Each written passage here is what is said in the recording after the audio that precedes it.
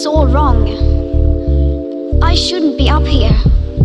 I should be back in school on the other side of the ocean. Yet you all come to us young people for hope. How dare you?